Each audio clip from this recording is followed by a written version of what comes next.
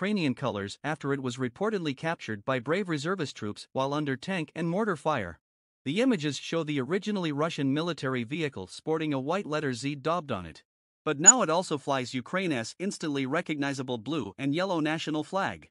The footage, obtained from the Regional Directorate of the Territorial Defense Forces east of the Armed Forces of Ukraine on Wednesday, July 6, shows Ukrainian troops driving the vehicle, a BMP 3, at speed. The BMP 3 was first introduced into military service by the Soviets in 1987. It is not unlike a light tank, with the version seen in the footage fitted with a turret and gun, and running on caterpillar tracks. News TV 24 brings you the latest breaking news videos and explainers from the UK and around the world. Become a News TV 24 subscriber and hit the bell to be the first to know.